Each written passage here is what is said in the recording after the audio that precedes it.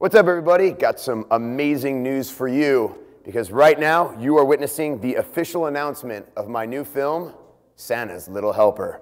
So get your stockings ready because I'm coming down your chimney for some holiday cheer. And let me tell you, it's going to be awesome! Christmas just came early.